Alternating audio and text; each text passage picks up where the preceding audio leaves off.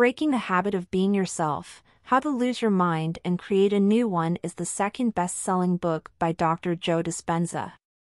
His first book, Evolve Your Brain, explained the concept of neuroplasticity and how one can alter the brain itself based on thought and feeling. As his second best selling book, Breaking the Habit of Being Yourself, also explores the practice of neuroplasticity.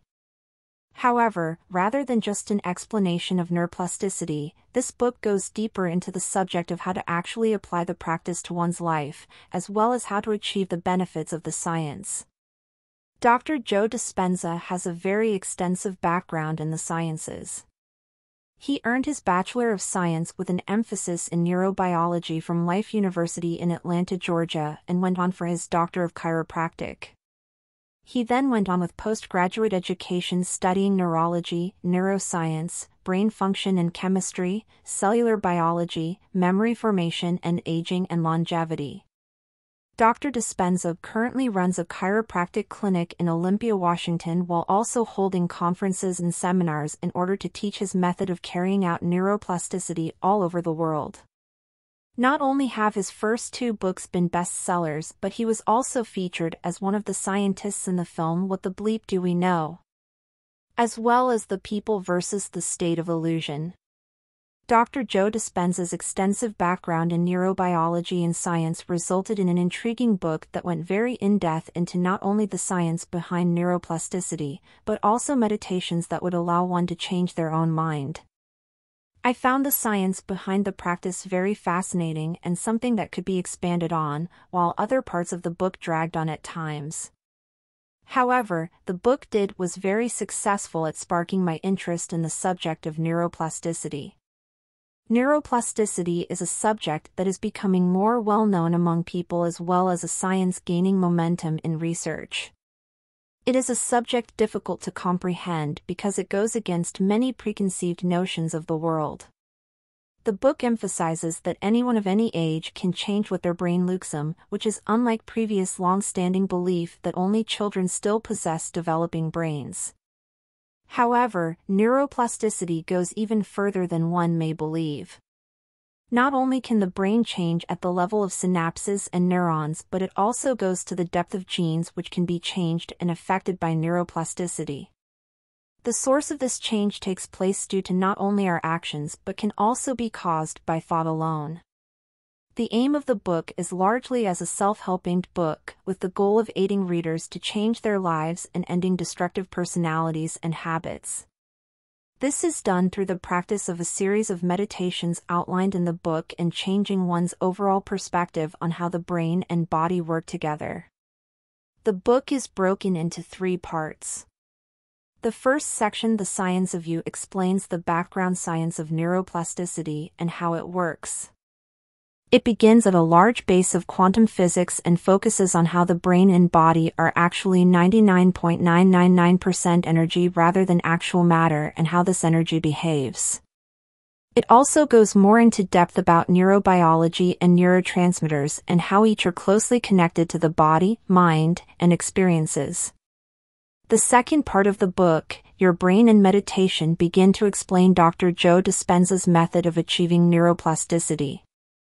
Rather than going into detail about what to do for this meditation, part 2 actually connects the science from the first part of the book to how the mediation will work in one's body in order to carry out neuroplasticity.